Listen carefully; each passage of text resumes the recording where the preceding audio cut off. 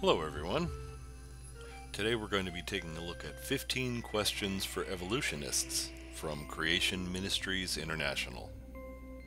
I had thought this would be a relatively straightforward and honest question and answer sort of thing. Then I saw this. Dishonesty. Step 1 Evolution is not the naturalistic origin of life and its diversity.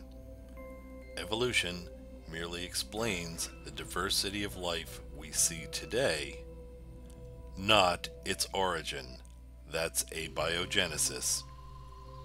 So there we have it. Step one dishonesty. Well, I see how this is going to go. Let's move on to the questions. Well, I, I guess we see why they made the title so deceptive. It was so they could wedge this first question in how did life originate? I believe I mentioned before that the theory of evolution does not address the origin of life, only the mechanisms of the diversity of life we see today. But, that being said, let's look at the question anyway. First, Paul Davies' statement Nobody knows how a mixture of lifeless chemicals spontaneously organized themselves into the first living cell is irrelevant because nobody says a mixture of lifeless chemicals spontaneously organized themselves into the first living cell. The first precursors to life were simple self-replicating molecules that came into existence simply by chemicals following the basic laws of chemistry. And don't start this where there are laws, there is a lawgiver crap. As for Andrew Knowles' statement, it's essentially accurate. However, we don't really know does not equal God did it. As for the rest of the paragraph, it can be safely ignored, because no one says, chemicals, poof, cell. And somebody want to fill me in on what he means by molecular vibration? Alright, on to question number two. How did the DNA code originate? Well, we can already see where this is going. This is essentially word salad. DNA is not a code. It is not a language system. It does not have letters and words. The meaning of words is irrelevant because there are no words in it. DNA is basically our hereditary material. It's made up of molecules called nucleotides. Each nucleotide contains a phosphate group, a sugar group, and a nitrogen base. The four types of nitrogen bases are adenine, thymine, guanine, and cytosine. It is a long and very complex molecule, but complexity does not mean God did it.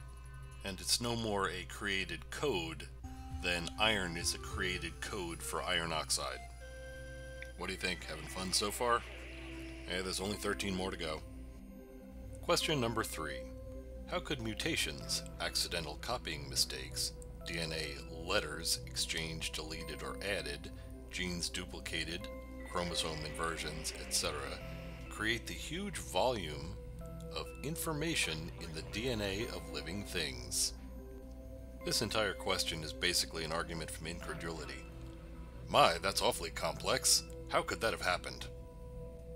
As for mutations being known for their destructive effects, yes, some mutations will result in the death of the organism.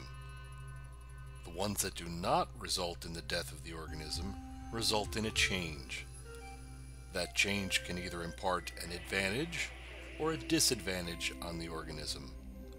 Further, this whole information issue is sort of a fuzzy one. Is information merely the number of base pairs in DNA? Or is information the resultant features of the organism in question.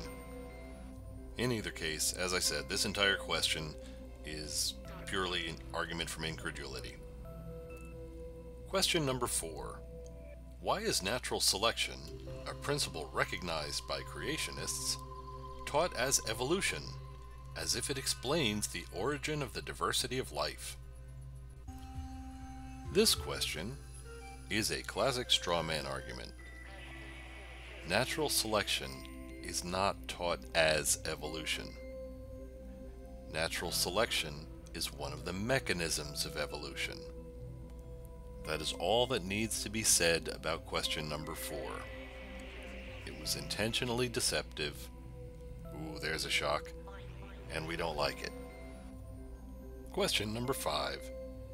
How did new biochemical pathways which involve multiple enzymes working together in sequence originate? This is actually a pretty good question. Unfortunately, the only reason they're asking it is because they think it's too complex for most people to answer. So let's look into it a bit, shall we? Complex biochemical pathways would not have started out that way. They would have started off as a few molecules interacting in a simple manner. Mutation can cause duplication where the same gene is coded twice by accident. If this happens to a gene that codes for the molecules in a pathway, and if a mutation now affects only one of the genes, the other gene can act as a backup, making sure the biochemical pathway doesn't break down and the organism can pass on the new duplicated gene.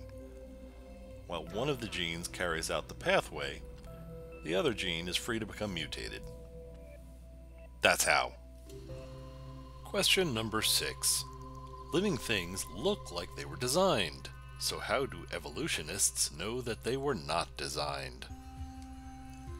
This rock formation looks like it was designed, so how do you know that it was not designed?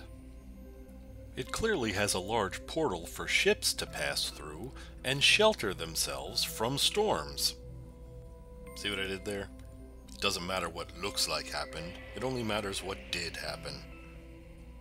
Question number 7. How did multicellular life originate? Again, this is a great question. The failure to answer it, however, does not necessarily mean God did it.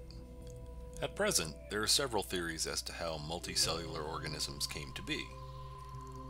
The symbiotic theory, for example, suggests that the first multicellular organisms occurred from cooperation between different species of single-celled organisms, each with different roles. Over time, they would become so dependent on each other, they wouldn't be able to survive independently. Eventually, this would lead to the incorporation of their genomes into one multicellular organism. The colonial theory proposes symbiosis of many cells of the same species. It's even been seen that genes borrowed from viruses have been identified as playing a crucial role in the differentiation of multicellular tissues. It is a very complicated topic, and none of these answers would be accepted by a creationist anyway. If you can't produce an answer that sounds like, the answer is 4, they'll respond with, you don't know, therefore God. Alright, let's move on to the next question. Question number 8. How did sex originate? I assume they mean sex with others. Number 8 goes on to ask the question, asexual reproduction gives up to twice as much reproductive success for the same resources as sexual reproduction, so how could the latter ever gain enough advantage to be selected? Well, some of the main advantages are uh, with sexual reproduction, there are more variations produced. Helps ensure the survival of the species uh, in a population. Um, also, uh, the newly formed individuals have characteristics from both parents. Variations are also more likely to be viable in sexual mode than in asexual mode. Now, as for the invention of the complementary apparatuses, Quite obviously, any organism with an apparatus that was not capable of completing the union would be weeded out in a single generation. Question number 9. Why are the expected countless millions of transitional fossils missing? This, my friends, is what we call a dumbass question. Fossilization is not the rule, but the exception most things that die decompose completely, never to be seen again. This is not, however, the only problem we have with dealing with creationists on this particular issue. If you produce two fossils, and one appears to be a descendant of the other, they will then demand a third fossil to be the intermediate between those two. If you are lucky enough to find such a fossil, then they will demand two additional ones to go in between each one of those. It's a never ending process. Unless you have a fossil of every parent and every child throughout history, the argument will never end. Question number 10. How do living fossils remain unchanged over supposed hundreds of millions of years if evolution has changed worms into humans in the same time frame? Oh, I don't know. Perhaps they were best suited to their environment exactly as they were, and any variations were weeded out by natural selection. Next question. Question number 11. How did blind chemistry create mind intelligence, meaning, altruism, and morality? Okay, as far as I know, blind chemistry was not involved in the process. Honestly, it sounds a little dangerous. Further, any variation that moved a population closer to these traits would confer an evolutionary advantage. Would anyone deny that a population wherein each member had some level of concern for other members of its group would be more likely to survive? So there you have it. The simple answer is variation and natural selection. Not much more to say about it. Question number 12. Why is evolutionary just so storytelling tolerated? The question goes on to quote Dr. Philip Skell, sadly deceased, who wrote, Darwinian explanations for such things are often too supple. Natural selection makes humans self-centered and aggressive, except when it makes them altruistic and peaceable or natural selection produces virile men who eagerly spread their seed, except when it prefers men who are faithful protectors and providers. When an explanation is so supple that it can explain any behavior, it is difficult to test it experimentally, much less use it as a catalyst for scientific discovery. Oh, I'm sorry, did, did I say they quoted Dr. Philip Skell? That my mistake. I'm sorry. My apologies. I meant they quote mined Dr. Philip Skell. If they had looked in the very next paragraph, they would have seen the line, None of this demonstrates that Darwinism is false. Dr. Skell was not arguing against evolution. He was merely stating where it should not be used in his opinion. So you see the level of dishonesty we're dealing with here. Question number 13. Where are the scientific breakthroughs due to evolution? Hmm. Well, that's interesting, isn't it? This is, once again, an excellent example of quote mining. In this particular quote, Dr. Kirschner was actually complaining that evolution was not taken into account and proposing some of the reasons why it may not have been taken into account. It was, in fact, Dr. Kirschner's position that progress would have been made much more quickly had evolutionary theory been taken into account. But I guess we couldn't expect the creationists to mention that little fact, could we? Question number 14. Science involves experimenting to figure out how things work, how they operate.